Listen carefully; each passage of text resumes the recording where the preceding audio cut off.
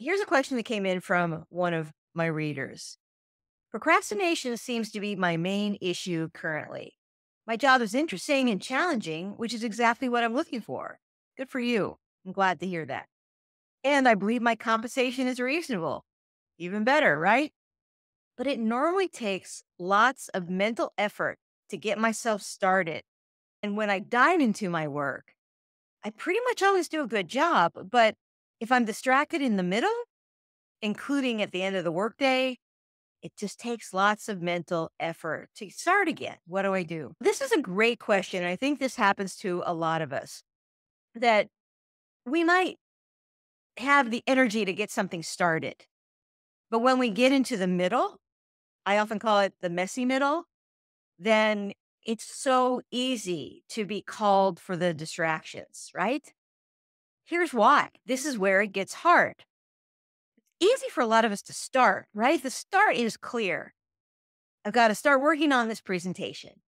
I've got to start planning out that retreat. I've got to start diving into that report. We typically know some place to start, but then we get into it and then it gets difficult.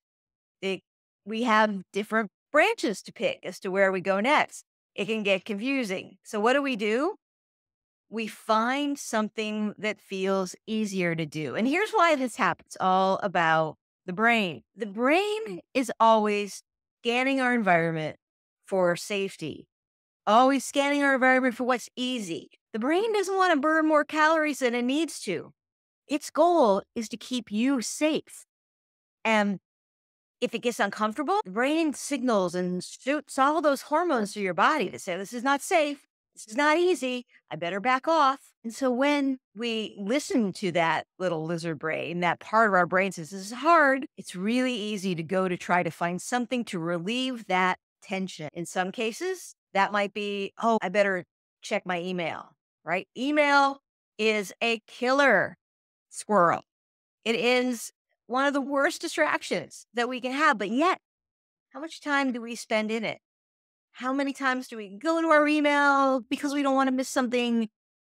but also because we're not willing to muscle through the places where the work is getting hard. It's natural that when something gets harder, our tendency is to back off. So, knowing this and being somebody like my reader who said, I know this is happening. I'm seeing it happening. Why does this happen? We've got to prepare ourselves in advance. Preparation is the best antidote to fear, to failure, so preparing and knowing, hey, at some point, this project is going to get hard. Knowing that in advance says, and when that happens, here's my strategy.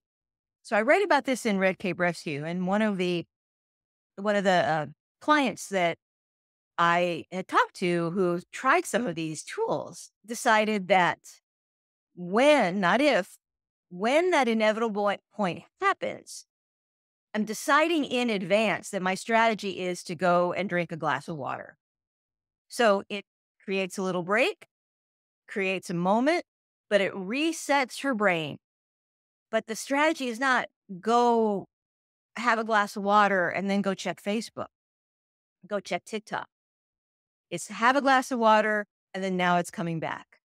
So she's deciding in advance not to let herself off the hook, of not continuing when it gets hard, but to acknowledge it, to give it a moment to step away, have that glass of water, and then to come back. And so when you decide in advance how you're going to behave in those times when you get stuck, when you get overwhelmed, then you remove the choices